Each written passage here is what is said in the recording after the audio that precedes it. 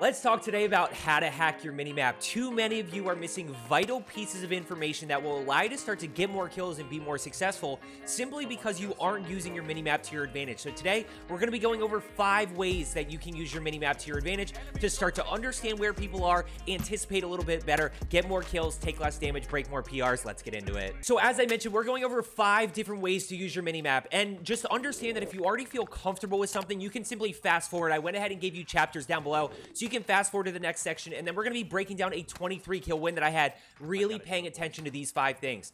Now, when we talk about using our minimap to our advantage, I want to talk about what I've really titled the snowball effect of information. And what I mean by that is we get a little bit of information, we're able to get a kill, then we start to get more information, we get more kills, we get more cash, and then we get more, and it just keeps going. and It just keeps snowballing, and it allows us to start to really get more kills and take less damage.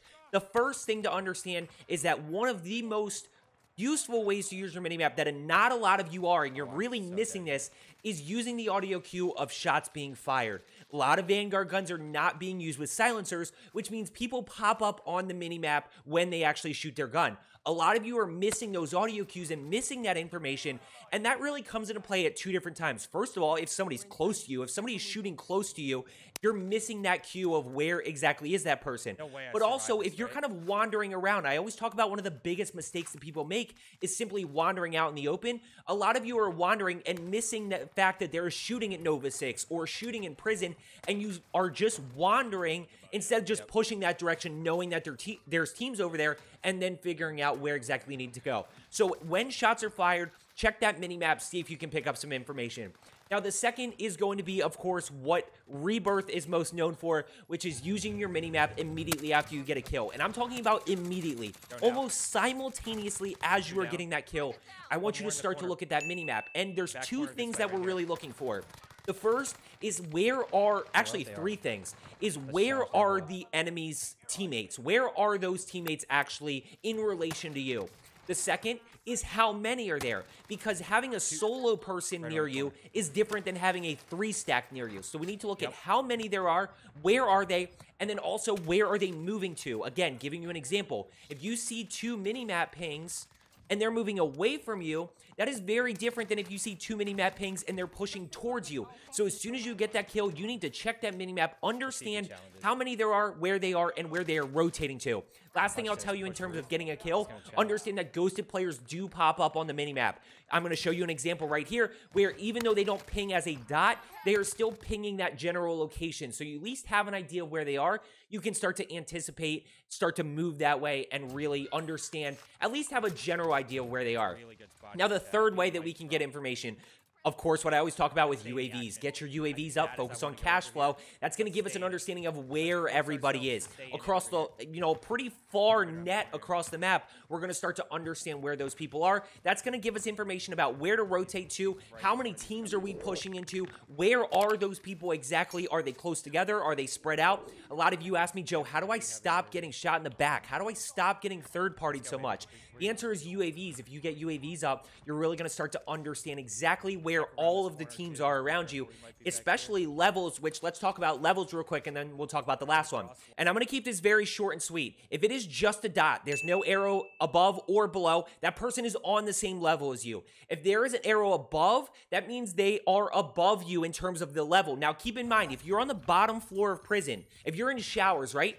They could be on any of the levels above you or flying in. So you do need to still anticipate around each corner and anticipate that they're simply on the level above you and just kind of keep clearing as you go.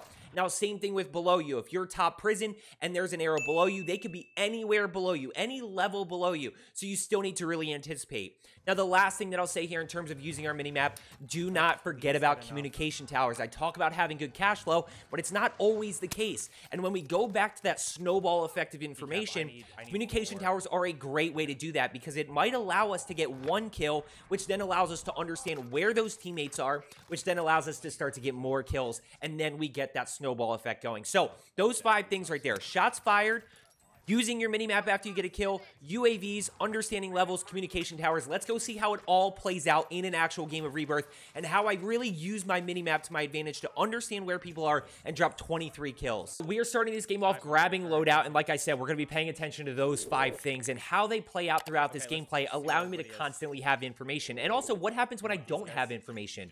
So we're going to notice one around the corner. Pretty easy kill. I know that person's right there based on the minimap. I have one right here, which I calmed to TCAP, and I have one backside this way who's not a threat. So we're going to go ahead and pull back here. I'm going to look at my money, and part of it for a lot of you is just understanding that you actually have enough money. So I'm going to grab money here, pop UAV, and we're going to start to get a big picture as to where everybody is. Now, when I look at this, right, we obviously got a lot of people this way, but understand that TCAP and I are both very good players. So I know TCAP's rolling over to control. I'm going to go handle this side of the map right here. So I'm going to pop UAV. We're going to start to understand which way we're rotating to. And I actually asked TCAP, hey, you're going to control, right? Because if he's not, I want to be over there. He's going that way. He's going that way, so we're going to go ahead and push over. Now, I want to also keep this in mind, and this is where you start to understand and think about, okay, where are the sweaty players? Sweaty players tend to be at control. They tend to be at prison. So when I pop this UAV, I have two choices. I can go push prison, or I can go push this team over at Harbor which one probably makes more sense to push? And I mean that with all due uh, respect to anybody that lands and sits at Harbor because, or just lands there or ends up there. I mean that with all due respect, but generally speaking, 99% of the time, the team at prison is going to be sweatier. So I'm going to go take this team over here. And as soon as we get this first kill, we're going to use the mini map to our advantage. And I want to pause this and show you just how quick so I actually I actually tried to get that kill. There's the mini map check. I actually tried to get the second one because I saw him running by. There's the mini map check right here. And I'm looking at not only how many are there, there's two. Where are they? They're currently below me because of the arrows and I'm watching where are they moving to. I know that I'm not in any immediate danger right here in terms of them shooting me. So I'm more concerned about where are they rotating to. And what I end up seeing is I'm going to anticipate around this corner. I see one right here. Notice how I have a lot of cover. If this guy smokes me, I'm definitely in a position where I can reposition. We get that one. Now we're going to go ahead and see the last one on my level backside. I'm going to go ahead and farm. Now, super unfortunate situation here. Guy flies in, grabs the heli. I would love to grab that, fly up top prison, start challenging that way. And this guy ends up, we end up team wiping. Super unfortunate. We're going to quick fast forward. We play a little bit of ring around the rosy with the helicopter here. It's super annoying. I can't stand him in Rebirth. But at the end of the day, we're just going to keep finessing, kind of using cover to our advantage until we can get a spot to get the down and get the thirst. Now, where are these teammates, right? Get out, please bleed out, we notice that they're over at chem. Immediate mini-map check. I'm checking my mini-map right here. Up here, I see two over above me there in chem. Out, so as please. soon as you get that kill, you need to be checking that mini-map. We're going to go ahead and push up here. Keep pushing. Don't really have any information just yet. And I slow it down. I fast forward to this point because right here is where I get information. This is a shot being fired. I went from having no information at all to I hear the audio cue, I check the mini map, and I see that one is up top. So now we're going to go ahead and push up here. A little bit of a risky play taking the zip, but we're going to go ahead and do it and watch this series of events unfold. Watch this series of events. So we're going to go ahead. We're going to challenge. We're going to almost get the down. I stopped shooting a little early. Now we get the down.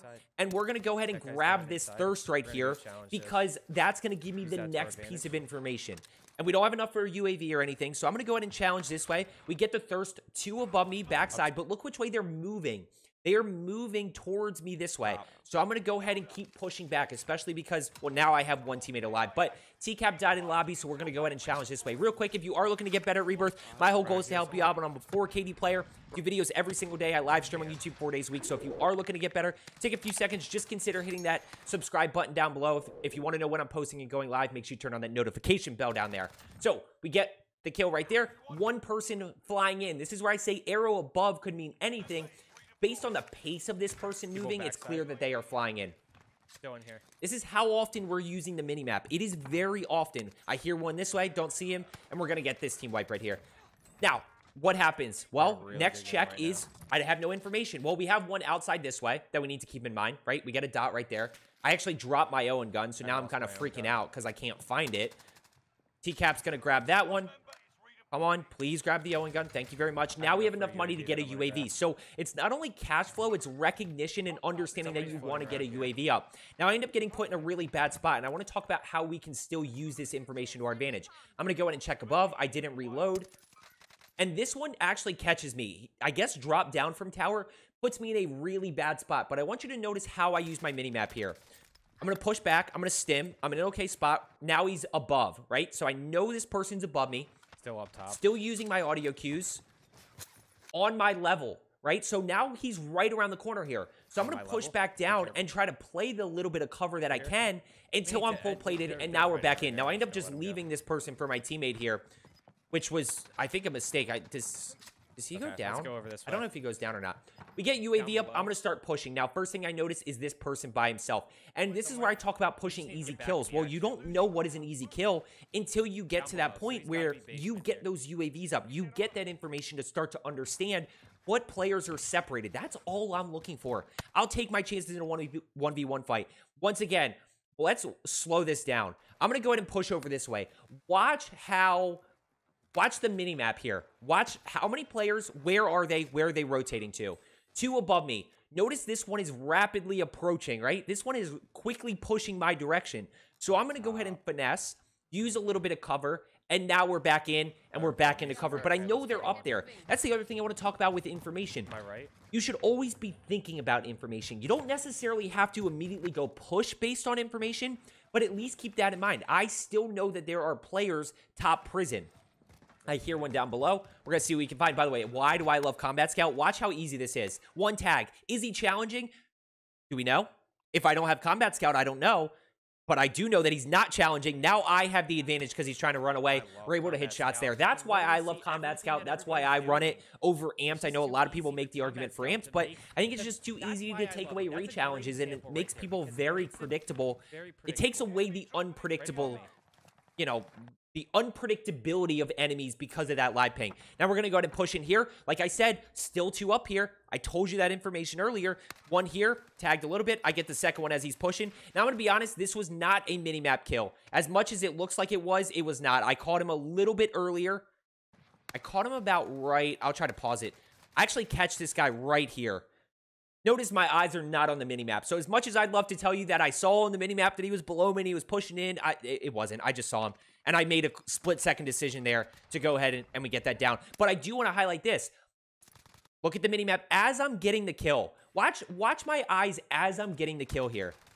Downed. My eyes are already looking at the minimap. This player's not thirsted yet. Already looking at the minimap. And why is that helpful? Watch which way this person's rotating so I know this person is rotating towards me. I do two things. One, I stim for the health boost and the speed boost to get away. Here. The second is I tell my teammate, this is the last one alive. We can 14. farm this team. We can leave this team alive, which is something for my advanced players, starting to farm those kills. And that's where if you're looking to farm teams, you really have to start to use that information and understand when somebody is the last person alive. We're going to go ahead and tag this one up over this way. Not enough, not enough money for a UAV. I mean, TCAP does, but TCAP's not in a good spot. Now we just finesse this guy but this is where I talk about understanding where people are. Notice the two dots, one here, one here, and this person shooting above.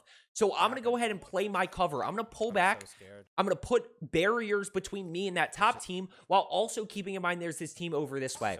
So, so that is the pace of which you want to start gathering information. But more importantly, the theme of what we've been talking about is hacking your minimap. How so much information and so many people are like, you have wall hacks and all these different things. It's simply using the information that I'm being given. There's information. Team top chem. Am I going to go push top chem? No, that is not a smart push right now. But I still want to keep in mind that that team is over there. That's going to play a factor. We get a UAV up. Now we're back in business. Snowball effective information. Let's see if we can push up. We get a kill. I'm trying to see what I can find. I'm anticipating. Don't see anything yet. Catch one right there. We catch the second here. One down, two down. How many people are around me, though? Notice there's three people right here. There are three people on this minimap. So as I turn this corner, I get the down, I get the thirst. I know that there's still one down here. I don't even need the mini minimap ping to know that there is one down here. I already understand that there's three people below me in here. I've only killed two. I know that there's still one down here somewhere. Now, when I don't see him, Now I check the minimap to see where this person actually is and who else is around me. I catch that this one's the last one. We're going to go ahead and push into bio now. Bio gets very one. tough. By the way, we haven't had a situation. You're running into Ghost a lot le less. That's kind of one of the tips or one thing that I mentioned, but it's really only something to keep in mind that if you notice it and you see the pulse without any dots, that is a ghosted player. So we're going to go ahead and push up here, see if we can keep moving. And we actually are going to use the communication tower here in a second because we do we, we know there's a bunch of people over here. We don't have enough for a UAV, but we do actually have enough for the communication tower. So quick reload. Now we're back in. Everybody below me. And I know there's two teams here immediately. Now, I got to be careful here. This is where I talk about how do we approach 1v3, 1v4 situations. Well, this is a 1v6 situation. This is two teams potentially going to start fighting. And at the end of the day, I need to be careful. I need to be patient. Now, what do I notice? Free kill. Look over on the buy station. There's one person flying in here. I actually heard enemy UAV, but then I see one flying in. We're able to get this free kill. That is a free kill right there. Free kill. That's what I'm looking for. Did I take any damage? No. Why? Because that person was flying in. It's super easy. I now have 17 with five other teams still up.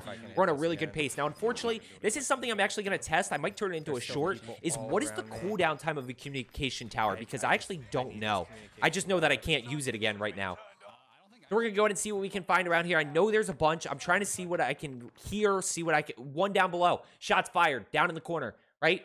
So I hear shots. I see that on the minimap. We're going to go ahead and challenge this way. Not totally sure. But notice that I'm anticipating in corners. Notice I'm anticipating being ready for people. I don't see anything just yet. Still nothing. Can't really find anything. I'm looking for them. I'm anticipating. I'm trying to use my audio cues. Haven't had any other minimap pings. And watch this right here. Okay, this person's pushing up. Let's be unpredictable. Let's actually, let's take advantage of their predictability. Very clear where they're going. So I'm going to go meet this person over on this side, and this is going to open up information. We get one. We get two immediately on the challenge. We get the thirst. So one down here on my level and one below me over this way. And we're at the point where we can, by the way, we can wipe teams. Respawn's disabled, so I'm looking to wipe here. One over this way, immediately challenge. I don't need to plate up. I don't need to reload. I'm in a really good spot. Still got ammo left in the Owen gun. Still got Let's enough go. in the STG, so we're rocking and rolling. We got 20 kills, and just like that, it's a pretty simple 1v3 situation right there. We get the down, we get the second down, we get a thirst, we get the second thirst, we know exactly where that last guy is. And that's where you see the snowball effect of information. I'm just going to keep reiterating it. Once you get information and you can kind of get that momentum going, becomes much easier. Down, thirst. Okay, what do I see? I see one over this way. They're very split. And I see one down below. So what do I do? I took no damage there. Quick switch to the Owen gun, drop down. And that is it. That is how quick that happens. That's how quick that needs to happen. There's me looking at the mini map. There I am over this way. And let's go see what we can find. And we're going to go ahead and challenge this way. I love this loadout right here. I do love this loadout, although the Owen gun was just nerfed. I don't know if it's good. Now we got one down here over this way, so let me go ahead and challenge. Let's play with a little bit of momentum, play with pace. We're going to anticipate around corners, and we're going to be ready to go. Do I see him? I do.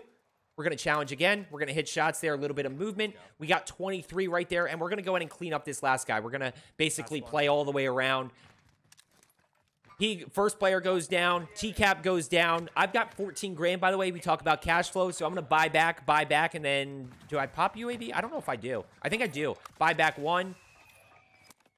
Technically, he should have given up, but I do see one below here, so now I have the information that I need. It's a 1v3 situation. He's right around the corner, and that's how you hack your minimap. That is how you use your minimap to get information, to understand where people are, to get that snowball effect and that momentum to start dropping higher kill games. I hope you found today's video helpful. As I always say, let's get better today, and I will see you tomorrow.